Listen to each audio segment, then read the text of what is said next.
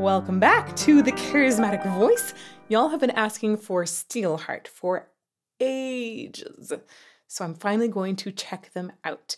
We're going to be using an unplugged version, which makes me really excited because that will allow me to dive face first into some hopefully glammy, glorious vocals. So let's get to it.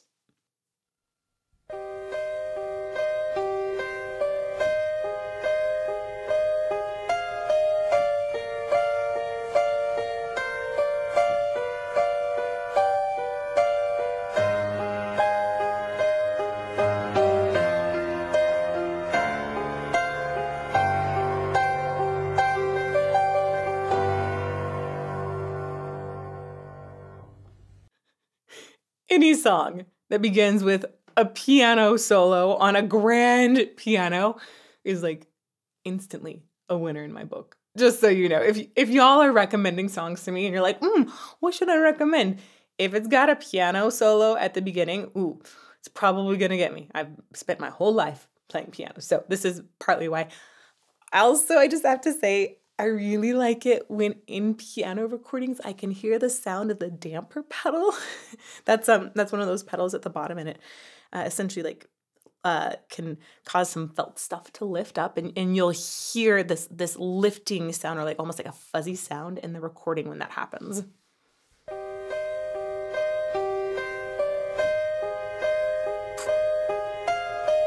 It's really subtle, but when I use a software instrument, I that's a piano one, I always look for it to have that kind of sound. It has that beautiful acoustic feel to it.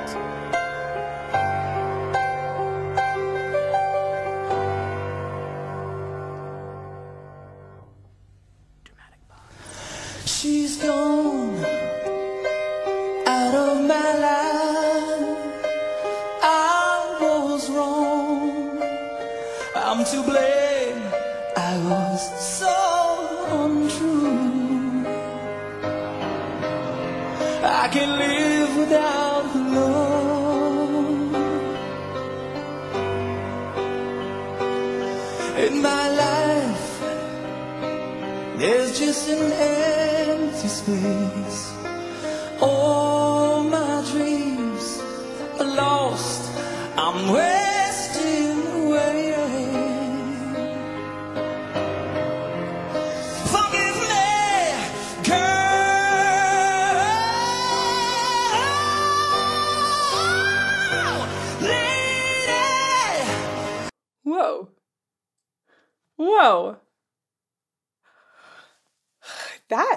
like an amazing first taste of this vocalist whose name is really, really, really hard to pronounce. I'm going to try and butcher it right now. Miljenko.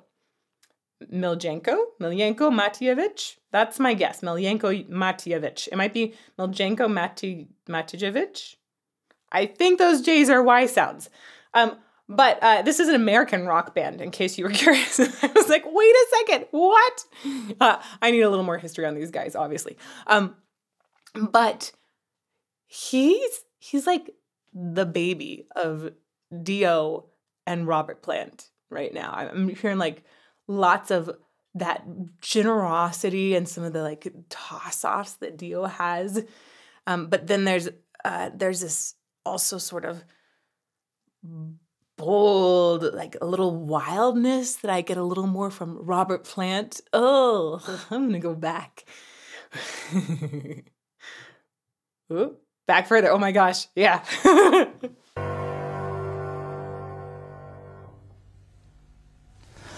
She's gone. Ooh. Okay, just right. You can tell that it's going to work really well from the very first entrance. And that's because of how he breathes. When he breathes in, he immediately catches that air and dives into the sound. I've seen so many singers where they have this big dramatic pause and they take a breath and they're like, and then they hold it before they dive into the sound. And that just actually causes things in the throat to close up so that that breath can be held underneath that closure. Then they have to reopen to sing. If you take a breath and then you just start singing at the top of the inhale, you just catch that wave, then you don't have that closure that you have to reopen and sort of burst through to start the sound. He does a great job of what I call catching the wave of the air.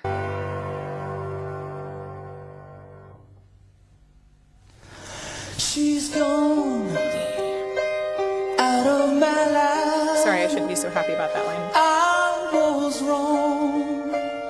I'm to blame. I was so untrue. That's where I really started to feel this mixture of Dio and Robert Plant. Um, there's the way he plays with the dynamics in particular make me feel like it's very Dio, the way it's always giving up something. But then there's like a little squeeze that can happen at different places that make me feel like there's some Robert Plant involved too. I'm to blame. That sounds very Dio. That's light up. I can live without love.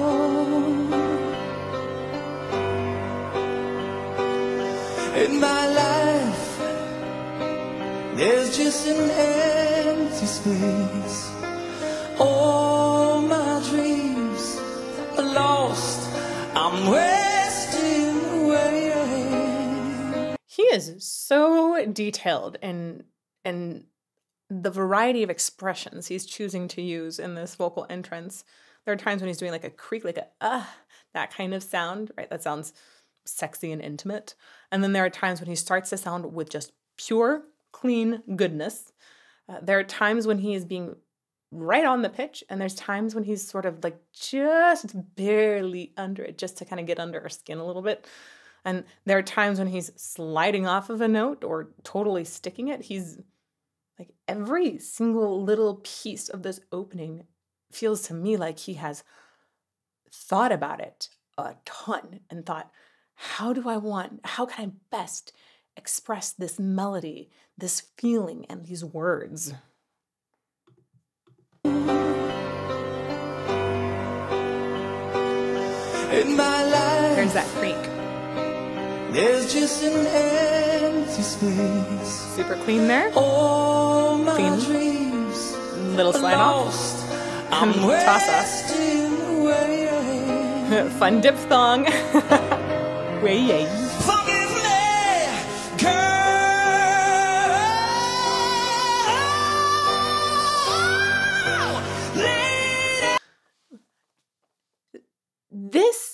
Not only amazing in that it's so rangy right here, but it's amazing in how he shifts into his upper register.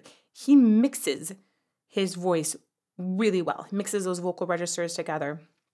When people are shifting through high and low notes, uh, there's essentially these antagonistic muscles that are at play. You have uh, what we'll often call a TA dominant sound or a CT dominant sound, meaning thyroarytenoid or cricothyroids. Right now, my thyroarytenoid is still feeling rather swollen and unhappy because of coughing from COVID.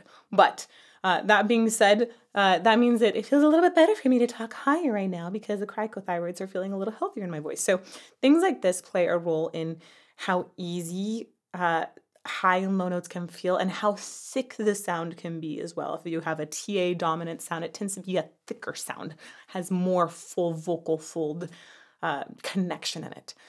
Now, when we talk about mixing, we're essentially talking about um, if the sound is like more than 50% TA, then that's the TA dominant. If it's more than 50% CT, that's the CT dominant, right? Sometimes we'll call these head or chest voice. What we call the register depends on what genre you're really coming from. Um, and there's a lot of confusion and bickering over that. But when we mix things together, we're talking about well like how close can you get to that maybe that 50-50 kind of line can you be 80-20 can you can you mix it like more like 60-40 or can we go like 59-41 when you get those closer bits together and you go really really really high you start to shade if you're switching into a different vocal register and in this way you can actually take up uh, a sound that is contains more similar qualities as it goes through a wider range. So for him, while he goes up, the quality of the sound actually stays remarkably similar. It doesn't suddenly go into the super high floaty, it doesn't like flip over into falsetto here. Instead, he really mixes extremely, extremely well as he's going high. He thins out the voice so that he can go higher, but doesn't lose this strength.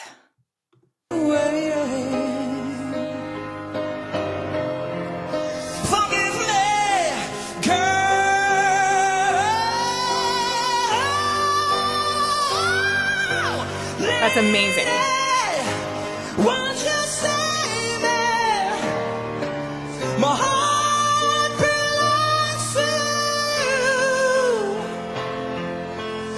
Okay, my mind just popped. It popped. I was like, and that's because you did this super, super fast jump that was really, it was over a very, a large range of notes. It was on my heart, My heart. gosh, that's that's an octave at least. I think it is an octave. I, it's just that is a big, big, big, big, big jump, and that kind of jump that quickly is usually really, really hard to negotiate. He just like ripped it out. That's the kind of thing that Mozart would write just to make fun of singers. There's there's this hilarious hilarious aria that Mozart allegedly wrote for a singer that he didn't like very much. And she would look down when she sang low notes and then look up when she sang high notes. So he did all of these jumps to make her do this the whole time. Um, and that's because people often develop mannerisms around singing high and low notes that aren't necessarily great. And then sometimes snarky composers exploit them.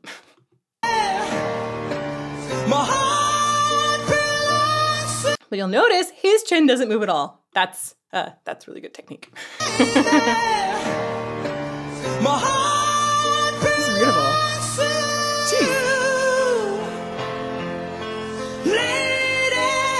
that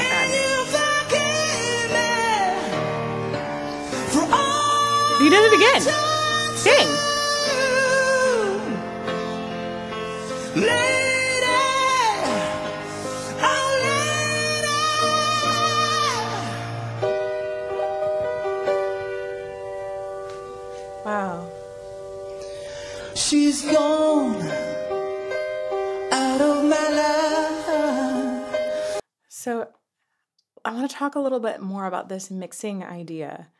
Uh, because he does it in the lows as well, but in the opposite direction. So down here in the she's gone part, he's going for a really soft, uh, light, almost heady kind of sound. So in the highs, he's going to be thinking about sort of mixing some of the lows in without making it flip over or be too hard to sing, essentially. In the lows, he's actually thinking about bringing some of that high feeling down, bringing it sort of like thinning out the vocal folds a little bit. So he's essentially like doing this incredible balancing act the entire time with the different muscles in his voice. Not that most singers can't be like, oh, I'm gonna do. It's not like I'm gonna engage my bicep, right? It's uh, these muscles are extremely intricate, very complicated. There's all kinds of cartilages they're wrapping around. So it's uh it isn't just like oh i'm going to engage my thyroarytenoid it's uh it tends to be working off of sensations like a thinner feel or uh maybe there can be a little bit of a tilt or maybe i'm going to go for a much heftier kind of feel so that being said brilliant mixing from both directions are happening here life. Right there's a, a sort of effervescence in this gone. I find it so hard. added some weight there so a little more ta engagement Oh, oh ooh, i like that I really miss that girl. Ooh, we're gonna go back. Go on. He actually like adds a little diphthong in there, all all on, to to just like cry on it a little bit. So hard to go on. wow. I really miss that girl. Oh, I love the way he he put the comma into that phrase. You hear this like little, just like tiny drop in the energy to show the comma in the grammar. that was just a nice little touch. He's so detailed in his singing. I really miss that girl, my love. Beautiful. Come back into my arms. There's that creak again. I'm so alone. I'm begging you. I'm down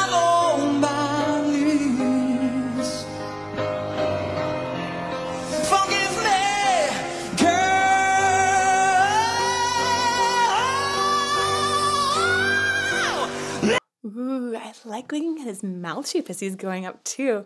Sometimes it can really help with uh, something that is like going up in these kinds of ranges. I, I know this is this kind of writing is actually very similar to operatic writing where you'll have these huge massive leaps. It is definitely showing off vocal technique all across the board in addition to just being like really heart moving, expressive. I, I'm like vocal nerding over here, and he's like, "Oh, I've lost my lost my girl." Sorry, man, your voice is really cool. We're gonna come back. Uh, let's check out his mouth as he's doing these leaps up. I'm so alone. I'm begging you. I'm down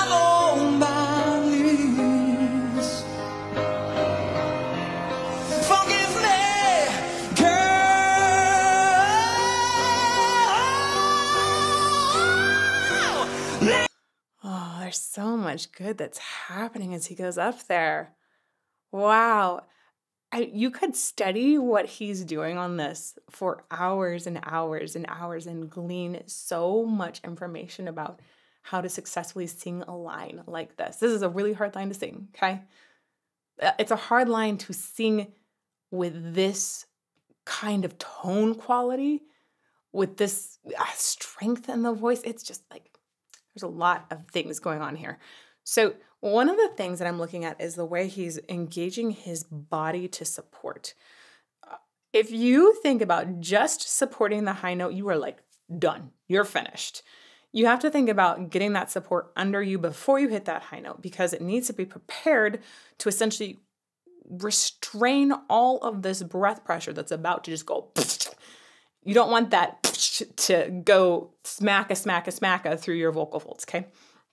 Um, instead, it needs to be prepared to restrain the breath pressure down lower in your body. So if you get your whole body involved, which I really see like this like sort of interesting movement that's happening here, you can tell he's connected to a lower place, which is fantastic. Uh, Myles Myles Kennedy calls that the P muscles. FYI, there's a great interview about that in case you're wondering. Um, but lower pelvic floor, that's like your lowest breast support. But he's also kind of squeezing in here, which might be helping activate some of that back rib cage as well. There's lots of different muscles that can help us with breast support.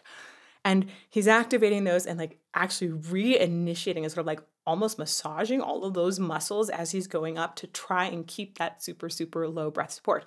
But then his jaw is dropping as he's going higher and he's getting more and more teeth in the sound, right? The sound wants to go, he wants to make sure it's going forward.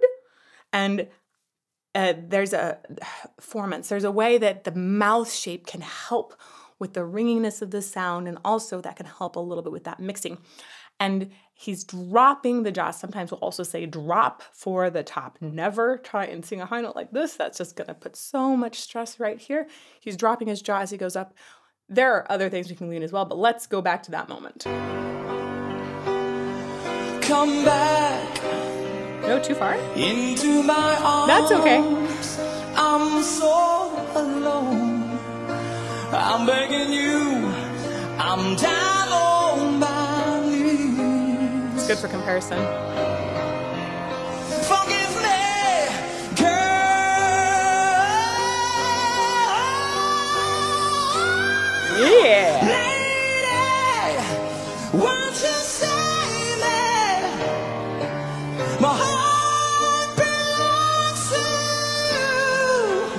That's a great squealo.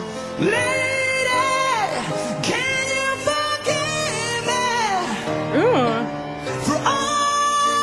Ooh. So right here, he got just a tiny bit pitchy. This is, I've heard him like weave around the pitch quite a bit up until this point.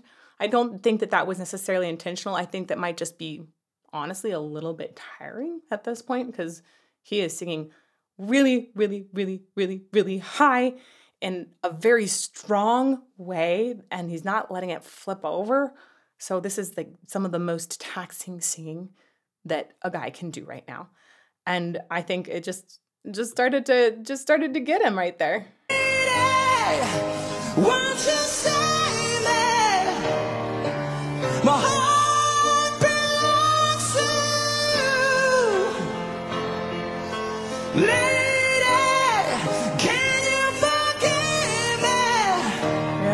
A tiny bit. But it sounds really heart wrenching.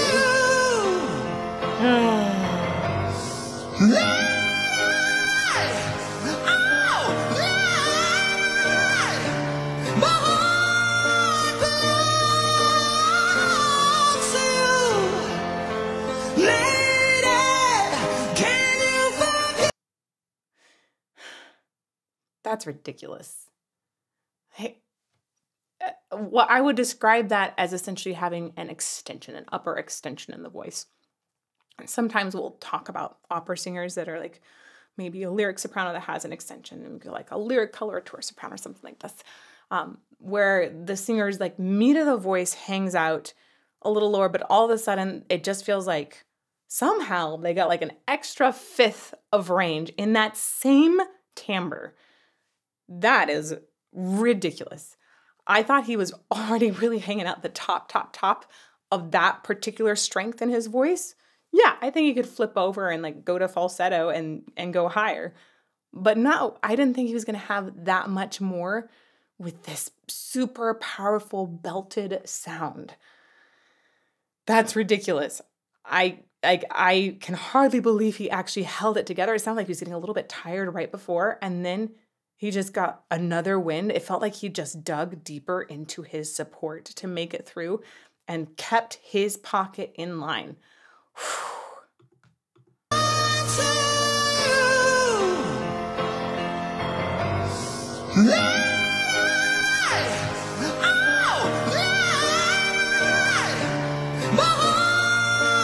Notice, notice the body. The body is super engaged, but I'm not seeing any sort of like slamming of the shoulders or anything like that. If he did that, it would, I, I'd be really scared that the voice would crack. It's engaged, but it isn't hitting.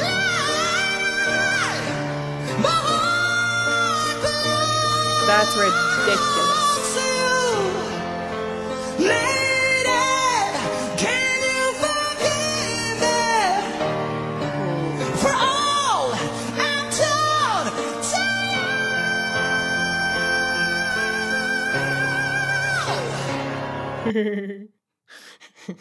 and that is how you modify a vowel when you're high. The vowel is you, right? You check my lips out. Ooh. Now check his lips out when he sings that vowel. He is not singing an ooh vowel. He's going, yeah. It is, I think there's even a little ah in there, but we hear you. So essentially, when you modify a vowel, it, it, depends on where you're modifying the vowel. There are lots of different ways to do it, but the idea is to essentially shift the mouth shape so that it is easier to produce a particular sound. Um, but you want to still keep it close to the original vowel so that the audience is still hearing the word that you want to deliver. Opera singers have to do this all the time, okay? Because like like stratospheric high notes like galore. Is a poster boy right now for how to correctly modify a high vowel. He's dropping his jaw, but still maintaining a little bit of roundness there so we get the impression of an oo, even though it's not actually an oo vowel. Back one more time. Ooh,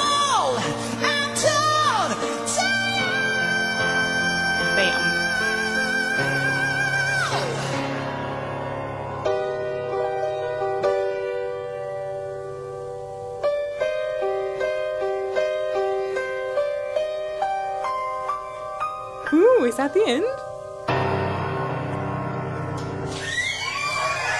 Dramatic low notes and then dude can sing. Wow. I am so glad that this is my introduction to Steelheart because I love it when the vocalist just drags me in. That was glorious. Exactly what I wanted it to be. And now I'm ready to hear what the band sounds like awful all together. So make those recommendations in the comments down below. Thumbs up the ones that you like, okay? And then while you're trying to figure out what else to recommend, maybe you should check out some other videos on our channel and see if they've already been done. Here's a list of some of my favorites. May you fall more in love with music every day.